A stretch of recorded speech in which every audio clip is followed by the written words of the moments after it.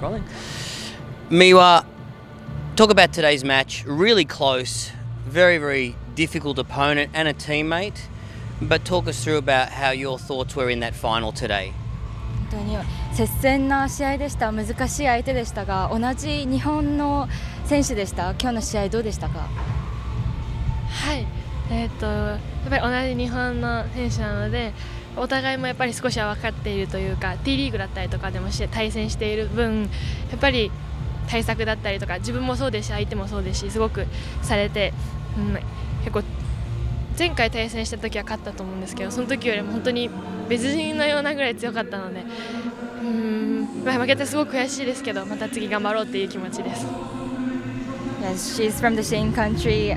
Where I guess we're used to uh, playing each other. I played her before, but last time I won, so it, it feels a little bitter to lose. But I just have to do my best from now on, also. Even though you're disappointed with today's match, let's look at the whole week. The whole week has been great in, in respect to you've made your first final of a WTT Champions. The crowd was amazing. You had great support all week. Explain to us, describe or share with us what your experience was like this week. That's how we saw it, but how did you see it this week? 悔しい気持ちがあっても今回初めての決勝の舞台に立てたしたくさんの応援をしてくれるファンの方々がいたんですけどなんか今週のモンペリエでの経験はどうでしたか？そうですねやっぱり、うん、決勝戦も含めすごく収穫のある大会だったと思います。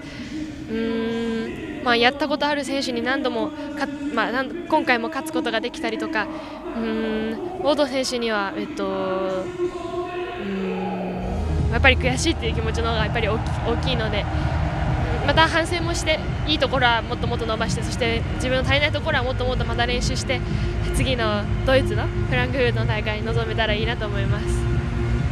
I really enjoyed this week. I've played against um, players that I've won against and I won again. It's a bitter feeling that I lost today, but I need to reflect and change what I can and do my best in Frankfurt. Well, Congratulations again for such a good week. I know you don't feel good today, but boy, we loved you being in the final, and we hope you can keep going with this great form for the rest of the year. 本当におめでとうございます。今日は悔しい気持ちもあると思うんですが、みんな本当に張本美和選手を 卓球する姿を本当に楽しんでいるので、これからも頑張ってください。ありがとうございます。Thank you. Good girl. Um,